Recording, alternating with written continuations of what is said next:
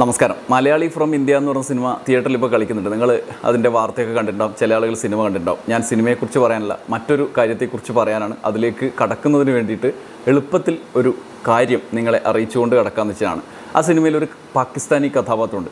ആ പാകിസ്ഥാനി കഥാപാത്രം മലയാളി കഥാപാത്രമായ നിവിൻ പോളിയുടെ കഥാപാത്രത്തോട് സംസാരിക്കുന്ന ഒരു പോയിന്റിൽ അവരുടെ വ്യത്യസ്ത ജീവിതാനുഭവത്തിലൂടെ കടന്നുപോയി ഒരു പ്രത്യേക വൈകാരിക സാഹചര്യത്തിൽ അവരെത്തും. നമ്മളും അങ്ങനെ എത്തും. ആ സാഹചര്യത്തിൽ ഈ പാകിസ്ഥാനി കഥാപാത്രം മലയാളിയോട് പറയുന്നുണ്ട്. നമ്മുടെ നിവിൻ പോളിയുടെ അറ്റിപ്പറമ്പിൽ ഗോപിയോട് പറയുന്നുണ്ട്. എന്താണെന്നറിയാമോ? വളരെ പ്രധാനപ്പെട്ട കാര്യം. അതാണ് നമ്മളെ വീഡിയോ. മതം രാഷ്ട്രീയത്തിൽ ഇടപെടാൻ തുടങ്ങിയാൽ മതം നിങ്ങളെ ഭരിക്കാൻ തുടങ്ങിയാൽ മതം നിങ്ങളുടെ രാജ്യത്തെ നിയന്ത്രിക്കാൻ തുടങ്ങിയാൽ നമ്മുടെയൊക്കെ ജീവിതം കുഴപ്പത്തിലാവും എന്ന്. അത് നിങ്ങളുടെ രാജ്യത്തായാലും എന്റെ രാജ്യത്തായാലും എന്ന് ആ പാകിസ്ഥാനി കഥാപാത്രം അയാളുടെ സ്വാനുഭവത്തിൽ നിന്ന് പറയുന്നുണ്ട്. യഥാർത്ഥത്തിൽ ഭരണം കൈക്കലാക്കുന്നതിന് വേണ്ടി മതരാഷ്ട്രവാദികൾ പല വഴികൾ സ്വീകരിക്കാറില്ല. ഒരൊറ്റ വഴിയെ സ്വീകരിക്കാറുള്ളൂ. അത് മതങ്ങളുടെ സ്പർദ്ധ വളർത്തുക എന്നുള്ളതാണ്. അങ്ങനെ കലാപങ്ങൾ ഉണ്ടാക്കുക കലാപത്തിലൂടെ ഭരണകൂടത്തിലേക്ക് എത്തുക ഭരണം കൈപ്പിടിയിലാക്കുക അതിനു വേണ്ടിയിട്ടുള്ള എളുപ്പ വഴികളാണ് ജനങ്ങളെ ഭിന്നിപ്പിക്കുക എന്നുള്ളത്. ഇന്നിത് ചിന്തിക്കുന്നത് എന്തിനാണ് എന്ന് വെച്ചാൽ മണിപ്പൂർ നമ്മുടെ മനസ്സിലെ വിങ്ങലായി മാറാൻ ആരംഭിച്ചിട്ട് ഒരു വർഷമായി.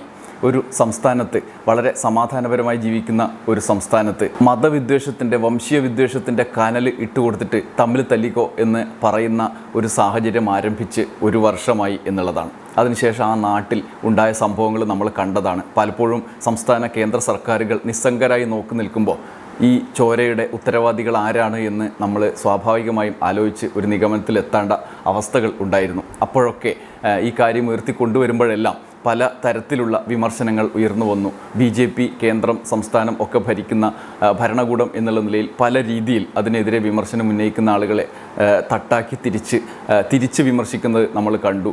മാത്രമല്ല ആ, സാഹചര്യം എങ്ങനെ ഉണ്ടായി എന്നുള്ളത് സംബന്ധിച്ച തർക്കങ്ങളിലേക്ക് നീങ്ങുന്നത് കണ്ടു. ഈ ഒരു വർഷം തികയുമ്പോൾ ഇന്ന് മലയാളത്തിലെ പത്രങ്ങളിൽ മാതൃഭൂമിയും മനോരമയും ഒഴികെയുള്ള പത്രങ്ങളിൽ കുറേ പത്രങ്ങൾ മുഖപ്രസംഗം എഴുതിയിട്ടുണ്ട്. ആ മുഖപ്രസംഗങ്ങളിൽ ഏറ്റവും ശ്രദ്ധേയമായ ഒരു മുഖപ്രസംഗമാണ് നിങ്ങളുടെ മുമ്പിലേക്ക് ഞാൻ അവതരിപ്പിക്കുന്നത്. ദീപിക പത്രം എഴുതിയ കലാപക്കനലിന്റെ ഒരു വർഷം എന്ന തലക്കെട്ടിൽ എഴുതിയ മുഖപ്രസംഗം ഞാൻ നിങ്ങളുടെ മുമ്പിൽ അവതരിപ്പിക്കുകയാണ്. തെരഞ്ഞെടുപ്പൊക്കെ കഴിഞ്ഞു. അതുകൊണ്ട് സുരേഷ് ഗോപിമാരൊന്നും പേടിക്കേണ്ട കാര്യമില്ല. ഏതായാലും വോട്ടിനെ ഇത് സ്വാധീനിക്കില്ല. മനുഷ്യരുടെ പ്രശ്നം പറയുമ്പോൾ ഉടനെ തെരഞ്ഞെടുപ്പ് എന്ന് പറഞ്ഞ് സഭാപിതാക്കന്മാരെയൊക്കെ സുഖിപ്പിച്ച് സംസാരിക്കാൻ പോയി. എല്ലാ വോട്ടും എനിക്കാവും എന്ന് മണിപ്പൂരൊക്കെ അവിടെ പോയി നടക്കട്ടെ. ഇത് ഇവിടെയാണ്. അത് പുരുഷന്മാർ ആണുങ്ങൾ തീരുമാനിച്ചോളും എന്ന് പറഞ്ഞു നടന്ന സുരേഷ് ഗോപിയുടെ ഒന്നും മനസ്സിൽ ഈ മുഖപ്രസംഗം ഒരു വിഷമാവില്ല. കാരണം വോട്ടൊക്കെ പെട്ടിയിലായി കഴിഞ്ഞു. അതുകൊണ്ട് ഈ മുഖപ്രസംഗം താല്പര്യമുണ്ടെങ്കിൽ ആത്മവിമർശനത്തിന് സ്വയം വിമർശനത്തിന് ഇടയാക്കുന്ന ഒരു മുഖപ്രസംഗമായി മാറട്ടെ എന്ന് മാത്രം ആഗ്രഹിക്കുകയാണ്. ഞാനത് വായിക്കാം. കലാപക്കനലിന്റെ ഒരു വർഷം. സ്വതന്ത്ര ഇന്ത്യയുടെ ചരിത്രത്തിൽ തീരാത്ത വേദനയും മായാത്ത കളങ്കവുമായി മാറിയിരിക്കുന്നു മണിപ്പൂർ. രണ്ടായിരത്തി ഇരുപത്തി മൂന്ന് മെയ് മൂന്നിന് പൊട്ടിപ്പുറപ്പെട്ട കലാപത്തിന്റെ കനലുകൾ ഈ വാർഷിക ദിനത്തിലും അണയാതെ എരിഞ്ഞുകൊണ്ടിരിക്കുകയാണ്. മനുഷ്യ മനസാക്ഷി മരവിച്ചു പോകുന്ന നിരവധി കൊടും ക്രൂരതകൾക്കാണ് കഴിഞ്ഞ ഒരു വർഷം മണിപ്പൂർ സാക്ഷ്യം വഹിച്ചത്.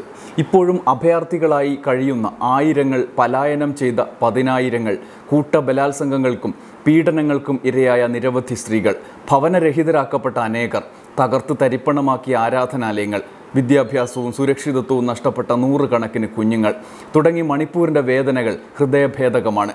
എന്നാൽ ഇതൊന്നും കാണാൻ കണ്ണില്ലാത്ത കേന്ദ്ര സംസ്ഥാന ഭരണകൂടങ്ങൾ ഇംഫാലിലും ഡൽഹിയിലും സസുഖം വാഴുന്നു.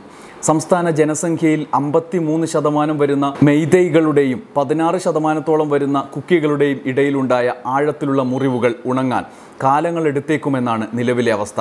മെയ്തൈ കുക്കി കലാപത്തിന്റെ മറവിൽ ഏറ്റവും നഷ്ടം നേരിട്ടവർ ക്രൈസ്തവരാണ്. ഇരുവിഭാഗങ്ങളിലും പെട്ട ക്രൈസ്തവരുടെ ഭവനങ്ങളും പള്ളികളുമാണ് രായ്ക്ക് രാമായണം വ്യാപകമായി നശിപ്പിക്കപ്പെട്ടത് എന്ന് സർക്കാരിന്റെ കണക്കുകൾ വ്യക്തമാക്കുന്നുണ്ട്. കലാപത്തിന്റെ മറവിൽ വംശീയവും വർഗീയവുമായ ഉന്മൂലനത്തിന് ശ്രമമുണ്ടായി എന്നതിന്റെ വ്യക്തമായ തെളിവുകൾ ലഭ്യമാണെങ്കിലും അത് മുഖവിലേക്കെടുക്കാൻ കേന്ദ്ര സംസ്ഥാന സർക്കാരുകൾ ഇതുവരെയും തയ്യാറായിട്ടില്ല.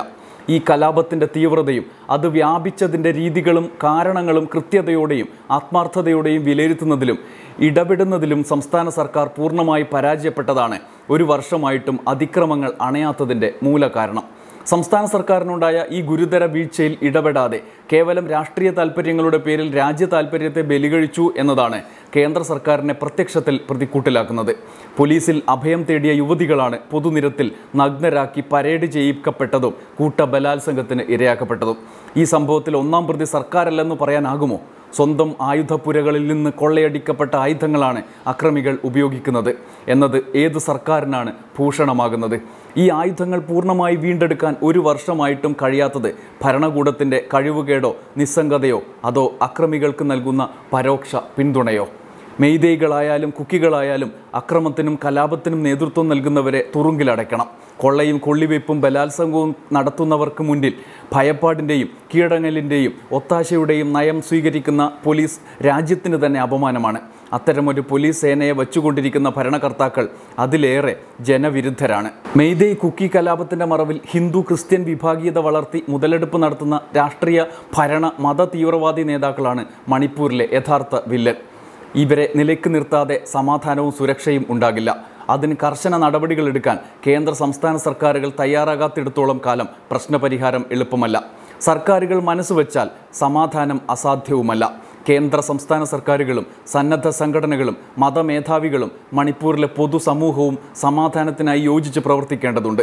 അതിനായി നിയമവ്യവസ്ഥ പുനഃസ്ഥാപിക്കുകയും പക്ഷപാതപരമായ നടപടികൾ അവസാനിപ്പിക്കുകയും ചെയ്ത് സംസ്ഥാന സർക്കാർ ആത്മാർത്ഥത കാട്ടണം. ജൂണിൽ അധികാരത്തിലെത്തുന്ന പുതിയ കേന്ദ്ര സർക്കാർ ഇക്കാര്യത്തിൽ മുൻകൈ എടുക്കും എന്നെങ്കിലും ഈ ദുരന്ത വാർഷിക ദിനത്തിൽ പ്രതീക്ഷിക്കാം. ജാതി മത ഗോത്ര വ്യത്യാസമില്ലാതെ എല്ലാവർക്കും തുല്യ നീതിയും സമാധാനവും സുരക്ഷയും ലഭ്യമാകുന്ന മണിപ്പൂരിനായി പ്രാർത്ഥനയോടെ കാത്തിരിക്കാം. ഇതാണ് ദീപികയുടെ മുഖപ്രസംഗം.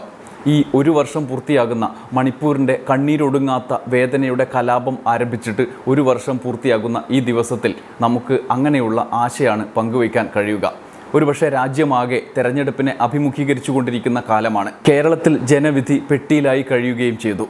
ഈ തെരഞ്ഞെടുപ്പ് പ്രചരണ കാലത്താണ് തൊട്ട് മുൻപ് കലാപം ആരംഭിച്ച സമയത്തൊക്കെ പറഞ്ഞിരുന്ന പല കാര്യങ്ങളും വിഴുങ്ങിക്കൊണ്ട് ക്രൈസ്തവ വോട്ടുകൾ ഇതാ എനിക്ക് ലഭിക്കുന്നേ എന്ന് പറഞ്ഞ് പള്ളിപ്പറമ്പുകളിൽ കയറി ഇറങ്ങുന്ന സ്ഥാനാർത്ഥികളെ സുരേഷ് ഗോപിമാരെ നമ്മൾ കണ്ടത്.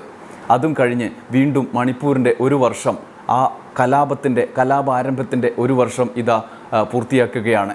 ഈ ഘട്ടത്തിലെങ്കിലും മണിപ്പൂരിൽ ആണുങ്ങൾ നോക്കിക്കോളും എന്ന് പറഞ്ഞ് നടന്നിരുന്ന ആക്ഷൻ ഹീറോമാർക്ക് ഒരു പുനർവിചിന്തനം അനിവാര്യമാണ്. കാരണം വോട്ടിന്റെ കാര്യത്തിൽ മാത്രമല്ല ജനങ്ങൾക്കൊപ്പം നിൽക്കുന്നു എന്ന് ഒരു തോന്നലെങ്കിലും ഉണ്ടാക്കാൻ ഇത്തരത്തിലുള്ള സമാന ഹൃദയരോടുള്ള സ്വന്തം സഹോദരങ്ങളോടുള്ള സ്നേഹപ്രകടനത്തിന് ഉള്ള അവസരങ്ങൾ ഉപയോഗിക്കുകയാണ് വേണ്ടത്. അത് കേവലം അഭിനയ കണ്ണീരിനപ്പുറത്ത് മണിപ്പൂരിൽ കൃത്യമായ ഇടപെടലുകൾക്ക് തന്റെ പ്രിയപ്പെട്ട കേന്ദ്ര സർക്കാരിനെ കൊണ്ട് നിർബന്ധിക്കുന്ന ഒരു സാഹചര്യമാണ് സൃഷ്ടിക്കേണ്ടത്. ഇനി ഈ തെരഞ്ഞെടുപ്പ് കഴിയുമ്പോൾ അടുത്ത സർക്കാർ വരും. അപ്പോൾ അത്തരത്തിലുള്ള ഇടപെടലുകൾക്ക് മുൻകൈ എടുക്കുന്ന സാഹചര്യം സംജാതം ആകും എന്നുള്ള പ്രതീക്ഷ. ദീപിക മുഖപ്രസംഗം പങ്കുവച്ച ആ പ്രതീക്ഷ തന്നെയാണ് നമ്മുടെ ഉള്ളിലും പ്രതീക്ഷയുടെ തിരി നാളമായി ഉള്ളത്. നന്ദി നമസ്കാരം.